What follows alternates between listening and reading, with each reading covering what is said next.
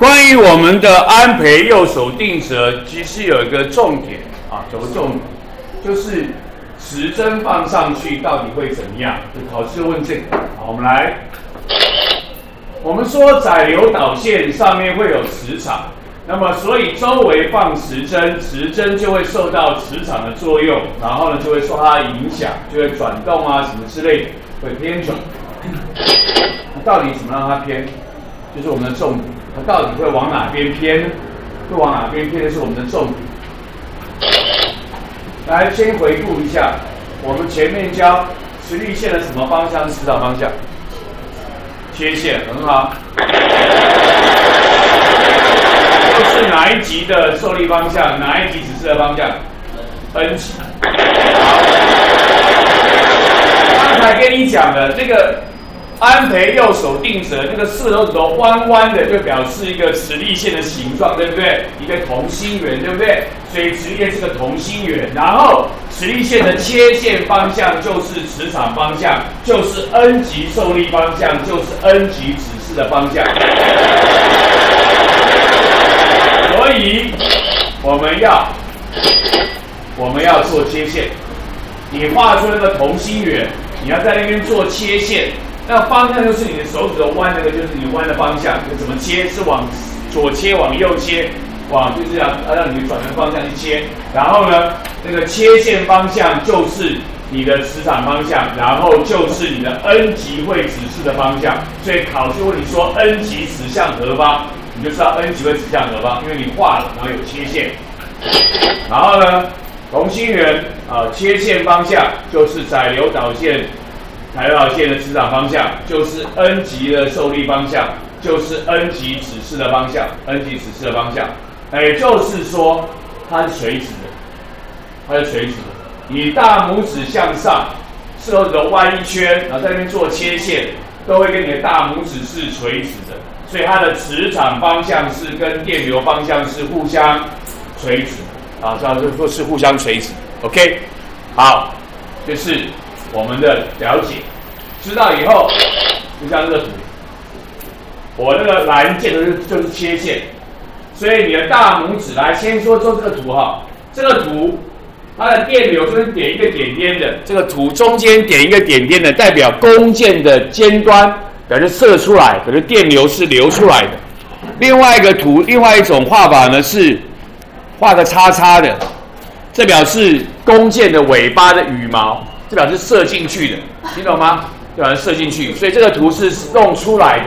所以大拇指朝外，手一圈，就是我们的逆时钟手大，然后每一点做切线，就是它当那那个地方的磁场方向。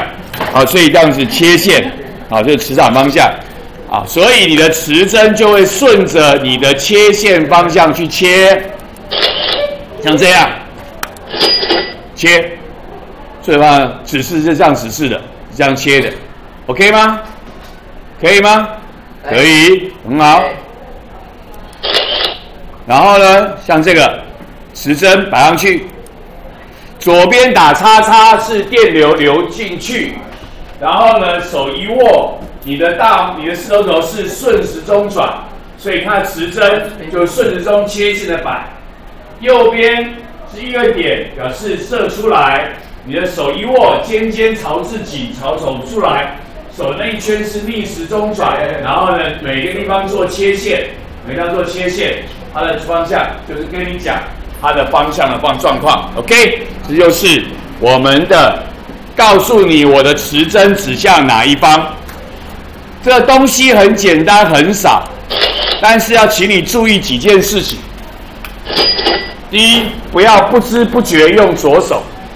大部分的同学都是右撇子，考试的时候右手就拿笔，然后写题目，然后你看到题目要问，就把左手拿出来比了，那完全就是错的，完全都是错的，完全相反。所以，请你不要不知不觉用左手，这种人很多，你考试就知道，有人就是不知不觉拿左手出来比的。所以，第一个要不要不知不觉用了左手去比？第二个要弄清楚方向。考试如果有东西南北的，请用东西南北回答。考试没有东西南北的，用上下左右回答。可是我们比较不喜欢讲前面跟后面，因为讲前后有时候会误会谁的前面谁的后面，所以我们会讲的是入纸面或者是出纸面。进入纸面，考试的纸的进去还是跑出来？入纸面或者是出纸面？考卷上有东西南北的，请用东西南北回答；没有东西南北的，请用上下左右回答。我们会讲入纸面或者是出纸面，入纸面或者是出纸面，然后搞清楚东西南北的方向。你不要东南西北搞不清楚，对不对？搞清楚它的方向。OK，再来。我们跟你讲的叫做电流磁效应，有电流的时候会产生磁场。我们的安培右手定则大拇指指的是电流方向，电流方向是正电流动的方向。可是我考卷可能给你负电流的方向，那叫怎么样？反过来，要反过来。OK，所以要注意，要注意啊！电流是正电流动的方向，正电流动的方向啊。注意题目是不是正电，还是给的是负电？然后记得翻过来或怎么样？OK，再来弄清楚上方还是下方。有些人图看不懂哎，应该很容易看出来是上还是下。有人看不懂，会看错。好，当然电流方向不一样，答案就会不一样。还有放在上方的放在下方也会不一样。有的是用文字写。啊，磁针放在导线的下方，OK，你就知道。有人是画图给你看，那你要看得出来，这个磁到底是放在上面还是放在下面，因为答案会相反，答案相反，OK，这就是我们要你能够理解的事情。这四件事，请你要注意，特别是那个不要不知不觉用左手，特别是要注意我的电流是正电流动的方向。题目上可能给的是负电，你要记得把它反过来。OK，这就是我们要提示你要注意的事。OK。